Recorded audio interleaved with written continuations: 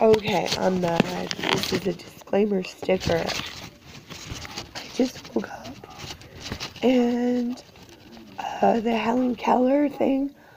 I have a disclaimer sticker on the palm.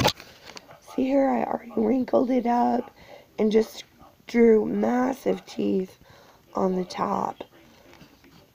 Uh, I ha however, am no longer editing my shit anymore.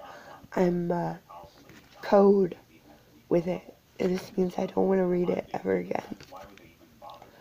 But I have to say that after mentioning Helen Keller, I don't know what an endocrine system is.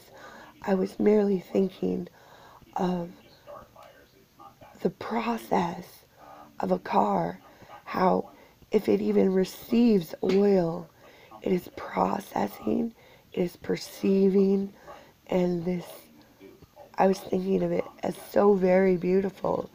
Processing endocrine and everything. Is meant as be poetry to be read as if it's the most beautiful thing on the earth.